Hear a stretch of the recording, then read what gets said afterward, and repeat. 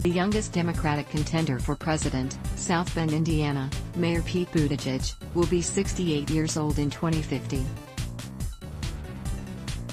That's younger than fellow hopefuls Sen. Bernie Sanders, Senator Elizabeth Warren, and former Vice President Joe Biden are right now.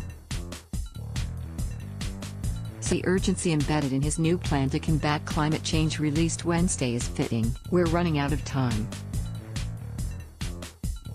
Experts tell us that we have 10 years to get on the right path, or global warming will reach catastrophic levels by 2050, he wrote. But the timeline that compels us to act isn't set by Congress, it's being dictated by science. Though his proposal has a more modest government outlay than the plans proffered by some of the other 2020 contenders, Buttigieg sets some aggressive benchmarks, doubling clean electricity in the U.S. by 2025, zero emissions in electricity generation by 2035, net zero emissions from industrial vehicles by 2040, and a net zero emissions by 2050, when he's 68.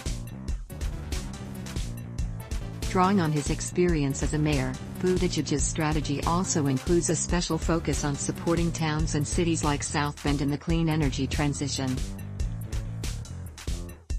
Every part of the country, he argues, deserves a chance to participate, whether that's energy efficiency upgrades, job training for displaced workers, or resiliency against extreme weather. It means tapping into the potential of rural communities to become part of the solution, Buttigieg wrote. The plan also raises a variety of economic tools to accelerate the shift toward a low-carbon future, like climate action bonds, creating a clean energy bank, and ending subsidies for fossil fuels. It also calls for U.S. diplomatic and financial leverage on the global stage to push other countries to move aggressively to curb their emissions. Though the field of Democratic contenders has begun to narrow, there are still 10 candidates that have qualified for the next official debate, and among those remaining, most have also put out their own comprehensive visions to address climate change.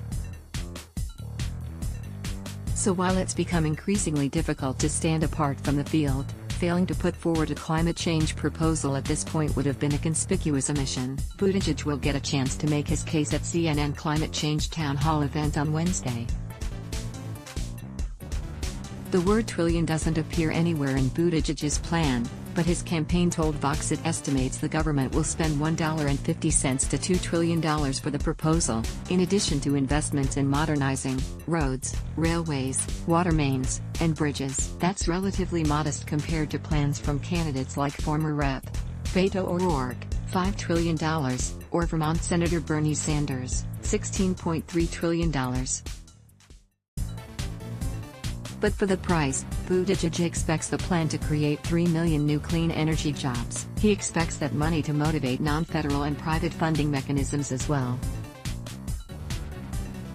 In addition, Buttigieg proposes a variety of financial instruments to drive the transition toward cleaner energy including, carbon price and rebate scheme, money generated by an economy-wide price on carbon would be distributed back to low and middle-income Americans. Climate risk disclosure, publicly listed companies would have to disclose their exposure to the physical impacts of climate change and explain to investors how they plan to address them.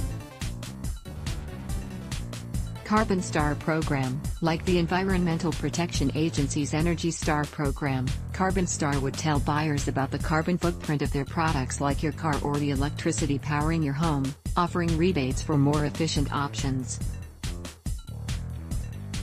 Extend tax credits for carbon capture, building on the 45Q tax credit for carbon capture proposal, Buttigieg aims to scale it up to the point that the U.S. can deploy at least 1 gigaton of annual CO2 removal capacity by 2040. Clean Energy Bank, a $250 billion bank created to finance efficiency, clean energy, and clear water, and resilience projects across the United States.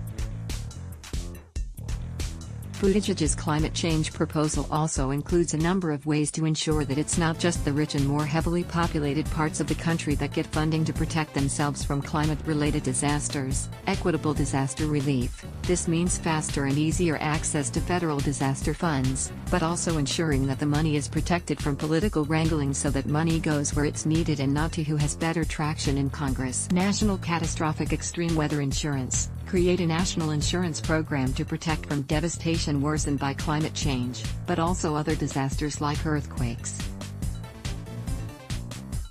Climate smart agriculture, develop farming methods that not only reduce greenhouse gas emissions from food production and resist extreme weather, but actually use crops and soil management techniques to encourage absorption of carbon. Regional resilience hubs, create centers throughout the country managed by local communities that develop strategies to deal with the specific climate risks in the region, funded in part by $5 billion in annual grants.